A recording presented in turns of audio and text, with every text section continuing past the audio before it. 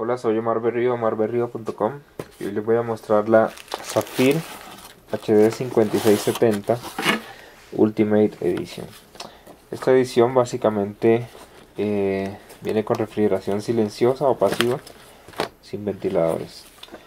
Aquí documentación, guía de instalación, drivers, la tarjeta Seguimos con ella. Voy a mostrar primero los accesorios. Viene con un adaptador de DVI a VGA.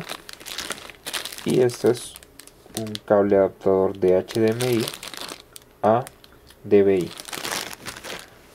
Estos son los accesorios. Viene la tarjeta. Es una tarjeta que no requiere de eh, alimentación externa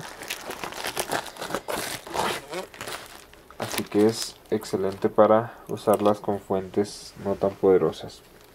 Este es el tipo de disipación que utiliza. Disipación pasiva. Eh, en estos heat pipes tiene gas para transferir el calor hacia esta parte.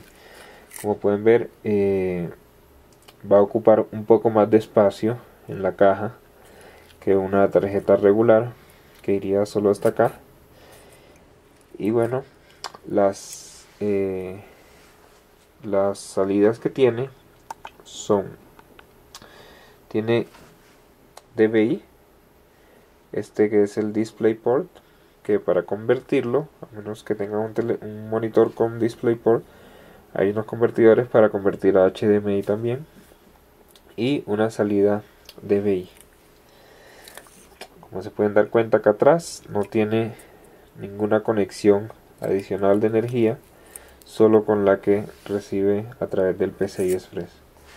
Entonces esa es la Sapphire eh, con chip ATI Radeon 5670 de 1 GB serie Ultimate con refrigeración pasiva. Espero que sigan viendo la página, que les gusten los videos. Eh, nos vemos en la próxima.